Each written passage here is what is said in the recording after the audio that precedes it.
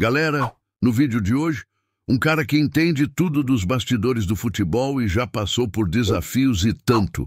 Entre eles, treinar o Havaí, enfrentando todas as dificuldades que vêm com a missão de comandar um time em momentos complicados. Quer saber como é lidar com pressão, torcida e fazer o time render dentro de campo? Fica aí porque a resenha está imperdível. E já sabe, né? Se inscreve no canal para não perder nenhum conteúdo top como esse e deixa aquele comentário para fortalecer a resenha. Então, Pois ó, é. porque no Havaí eu acho que você passou muito por isso, né? Na verdade, você nem teve muito tempo para trabalhar. É, o Havaí eu peguei ele em penúltimo, com a pontuação do último, deixei em primeiro, aí veio pandemia no dia seguinte. Aí pandemia, três meses parado, quando voltei perdi uma e mandaram embora. Olha só. É, é complicado. É um pouco. É revoltante até. Pois é, e Esse Wagner Mancini já foi mandado embora invicto no Grêmio. Foi o que eu te falei. É, é, foi o que eu te falei. Dificilmente isso acontece numa SAF. Por isso que eu, É. eu toquei naquele assunto. O que, é que a associação faz? O que é que o. Enfim. Aqui, o, o Carlos Alberto Siqueira está te fazendo uma pergunta interessante aqui. O Beto da Pompeia. Rodrigo, você acha que treinadores desconhecidos têm aceitação na torcida do Galo ou sempre trabalham sob desconfiança? Aí não é mais uma questão de diretoria, né? A própria é torcida, torcida, do é, Atlético, de ela é torcida, corneteira, assim, na hora de, Como é de um que é? treinador. Por, por exemplo, você aceita, aceita mais facilmente o São Paulo chegar do que o Rodrigo Santana, do que o Thiago Largue, que estão começando a carreira?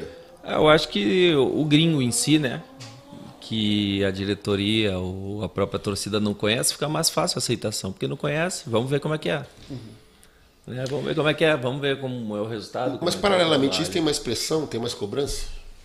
Você acha que o- que o nível de, por exemplo, de paciência com você, com o Largue é, e outros que estão no começo da carreira são menores do que teria com o São Paulo, por exemplo, ou com o Cudê agora? Sim, com certeza, né? Com certeza, principalmente São Paulo, né? Que já tem um nome, é um bom treinador e tudo mais.